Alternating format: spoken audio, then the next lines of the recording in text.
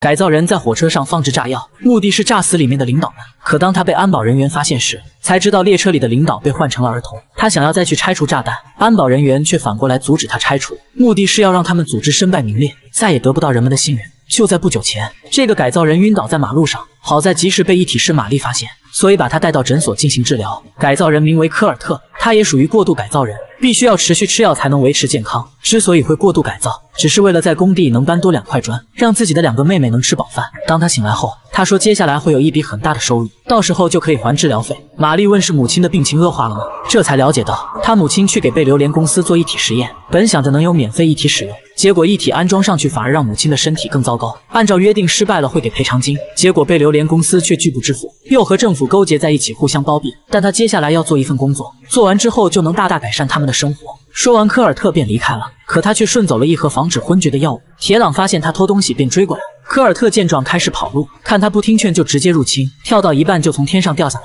铁朗迅速来到他摔倒的地方，可却被科尔特一掌打在了脸上。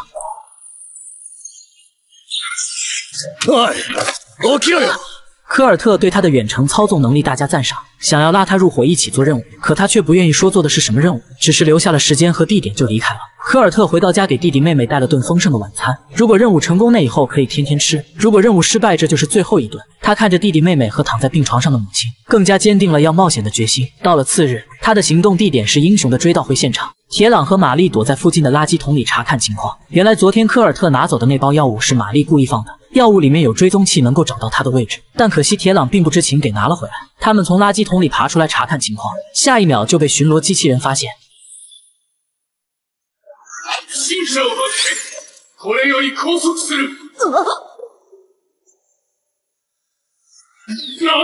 旁边发生大爆炸，吸引了机器人的注意。铁朗趁机操控它，没一会功夫就将机器人占为己有。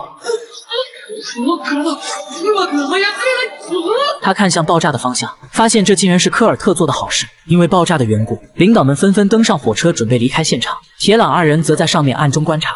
突然，一把枪顶在机器人头上，原来是科尔特以为机器人抓住了他俩。当机器人开口说话，这才明白机器人已经被铁朗控制了。原来科尔特的任务就是刺杀被榴莲公司的领导，他已经在火车里安装了炸弹，只需用遥控引爆就能让他们全死在那。可这时铁朗却不同意他这么做，说杀人来赚钱实在是不对。可科尔特为了养活两个妹妹，一个躺在病床上的母亲，必须要争取这个机会。就在他们争执不下时，安保人员发现他们，一顿射击把遥控器给打坏。这下科尔特只能跑到火车上手动引爆炸弹，铁朗便操纵机器人跟了上去。他在火车上差点被撞下去，好在科尔特及时抓住了他。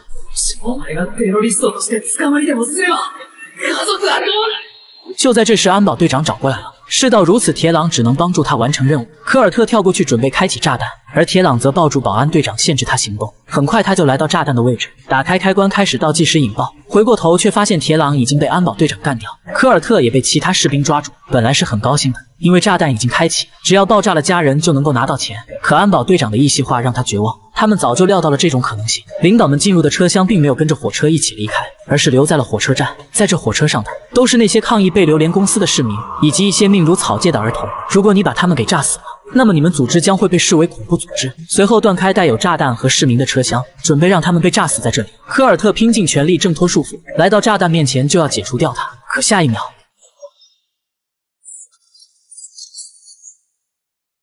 一下就让他身负重伤，他拼尽全力抓起炸弹并开启，就要扔过去炸死他们。可这时候却因为没吃药，身体再次丧失动力。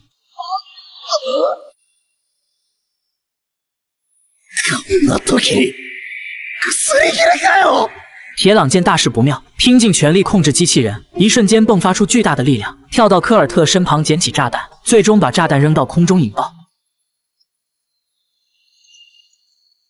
随后带着科尔特跳入水中逃离现场。当他们逃出来后，铁朗因为芯片发热过度灼伤了皮肤，而身负重伤的科尔特却突然像个没事人一样。他感谢铁朗保住了那些无辜的人，然后请求铁朗操作他的身体将他带回家去，因为自己已经无力控制了。他们一路走回了科尔特家里，看到了自己的妹妹。